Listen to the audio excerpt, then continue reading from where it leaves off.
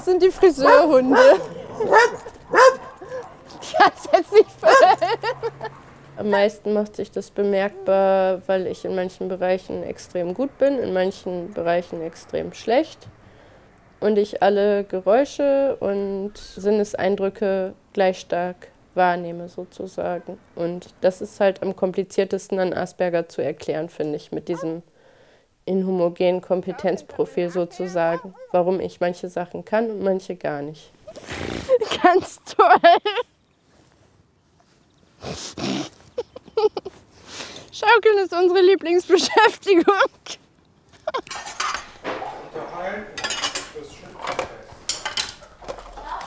Ich heiße Bettina, ich bin 40 Jahre alt, bin von Beruf Polizeikommissarin. Ja, man kann sagen, ja, alle drei Kinder haben gute Portionen von mir mit abbekommen. Der eine so, der andere so. Alle drei haben die Diagnose Asperger-Syndrom. Du fängst an. Nein, es geht nicht. Erkennst du dich in deinen Kindern wieder? Ja, doch, das tue ich schon.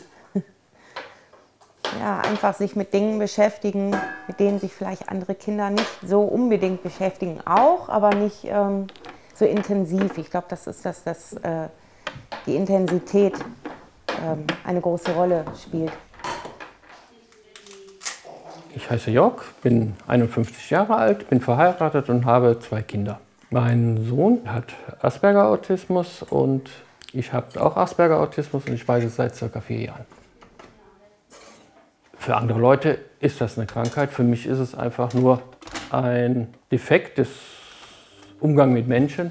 Bestimmte Arbeitsschritte mache ich immer wieder gleich. Auch diese Inselbegabung, bei mir ist es Mathematik, Physik, Chemie, dass man sich nicht mit Leuten beschäftigen will, weil man davor Angst hat. Dass man das so kompensiert, dass man dann so mit den Leuten umgeht, dass sie gefühlt haben, man interessiert sich für sie, optisch so tut, als würde man sich mit denen befassen, aber man macht es nicht. Man entwickelt auch im Laufe der Zeit Strategien, um das immer weniger auffällt. Kann man das ein Leben lang machen? Nee, man kann das nicht ein Leben lang machen. Man muss sich ja sehr darauf konzentrieren. Und so viel Energie hat man gar nicht, dass es ständig machen kann. Wenn du gefragt wirst, was ist das überhaupt? Was antwortest du? Also in der Regel so, dass ich halt Schwierigkeiten, Emotionen zu erkennen. Bei Menschen auch eher nicht, öfters nicht nachvollziehen kann, warum macht das ein Mensch, der dieses Verhalten zeigt, weil es nicht für mich logisch nachvollziehbar ist. Ich verhalte mich immer anders als normale Menschen in vieler Hinsicht. Bist du denn kein normaler Mensch?